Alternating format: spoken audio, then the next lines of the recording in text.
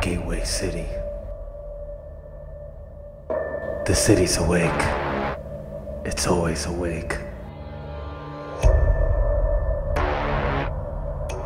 In the end, when the boys in blue can't solve it, when they can't trust each other, they call in the man in red.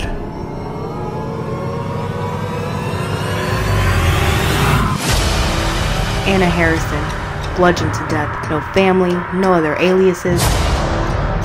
Who are you and why the fuck are you Tilly? He killed Anna. I want to know why. I'll help you. It isn't every day a cold case is pulled from a detective.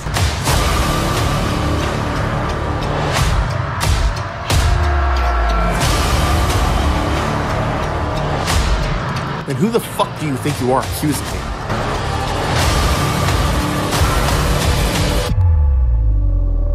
What did they call you? My name is Crimson.